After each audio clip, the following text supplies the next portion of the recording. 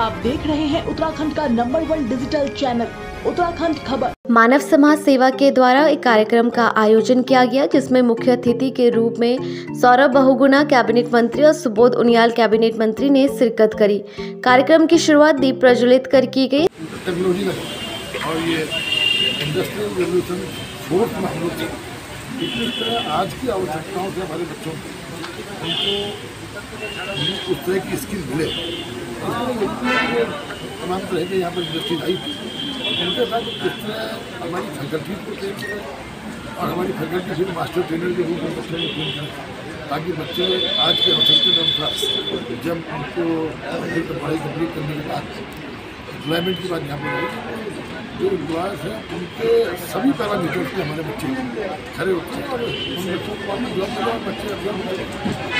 किसी को एक टाइप इंडस्ट्रीज़ का डिपार्टमेंट्स का, जो डिपार्टमेंट ऑफ़ स्किल डेवलपमेंट और ट्रेनिंग एंड प्लेसमेंट और साथ ही साथ ट्रेनिंग एंड एम्प्लॉयमेंट और टेक्निकल एजुकेशन दोनों हम मटीरियल से बैठे इंडस्ट्री इंडस्ट्री के साथ ही ऐसा हम लोगों का टाइप कि हमारे बच्चे ज़्यादा से ज़्यादा संख्या में अब्जॉर्व हो सकते हैं हम लोगों ने अपना प्लेसमेंट सेल भी बनाया हुआ है टेक्निकल एजुकेशन इसमें तकरीबन जो हमारे पास कुल तीन हज़ार पाँच सौ बच्चे हैं उसमें से अठारह सौ बच्चे हम लोगों ने अठारह सौ ज़्यादा बच्चों को प्लेसमेंट भी मिला और हमारा प्रयास ये रहेगा कि ज़्यादा से ज़्यादा बच्चे लगातार सरकार और कॉर्पोरेट्स के बीच में ऐसे इंटरफेस रखते रहते हैं।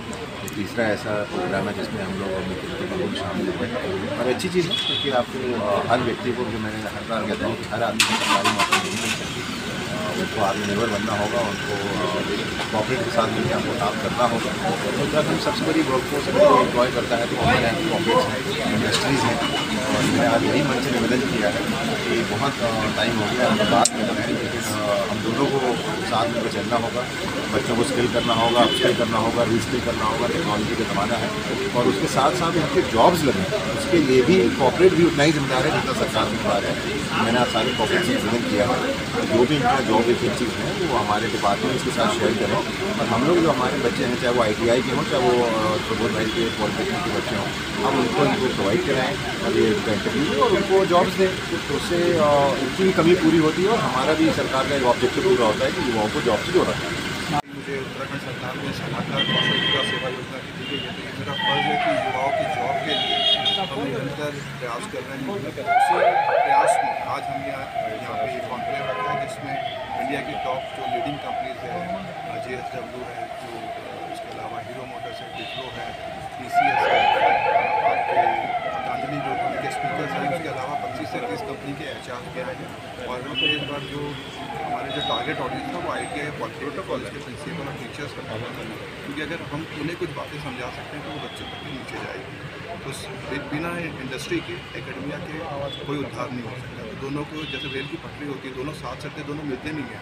तो उनको मिलाने के लिए बीच में जैसे रेल की क्या बोलते हैं, आपने देखा ना, लकड़ी और वो सारी चीज़ें होती तो वो काम हम लोगों किया है।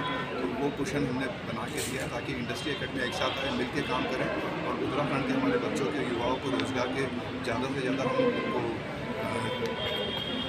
रोज़गार ओपन करवा सकें और उनको वहाँ पे रोज़गार दिला भी सकें। ये हमारी कोशिश है और इसी कोशिश में हमारा तीसरा प्रयास था जो इंडस्ट्री और अकेडमिया को साथ में लेकर, इससे पहले हम हरिद्वार में कर चुके हैं और ये देहरादून में किया है पाँचनगर में हम करें और इस तरीके के कार्यक्रम हमारे चलते रहेंगे क्योंकि जितनी ज़्यादा आप आपस में मिलते रहेंगे तो संबंध बढ़ते जाएँगे। संबंध बढ़ने से क्या होता है, जब रिलेशन तो सारी चीज़ें पॉसिबल